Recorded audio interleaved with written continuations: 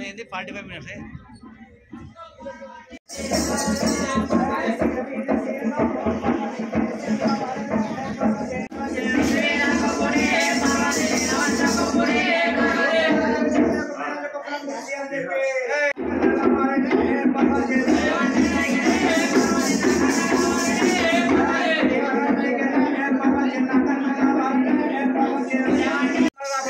అని చెప్పి ఆ బ్రాహ్మణులు అన్నారు.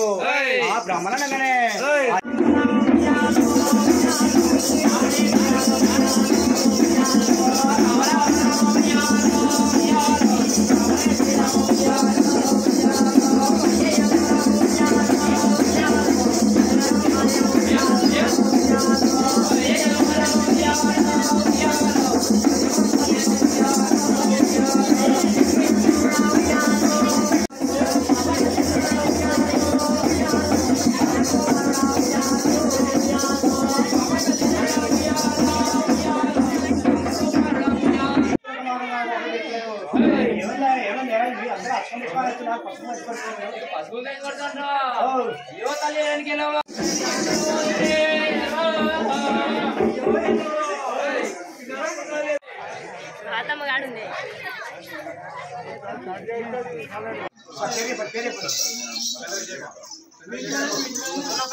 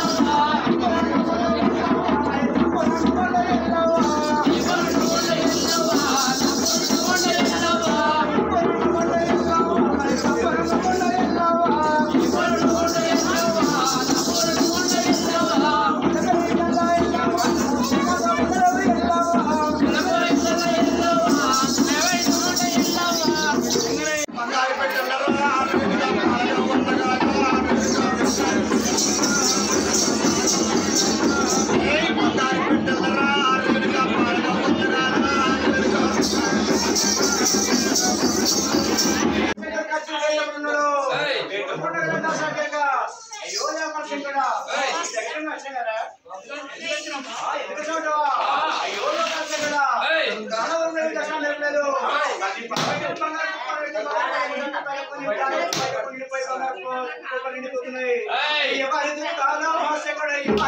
ఆతమ్మ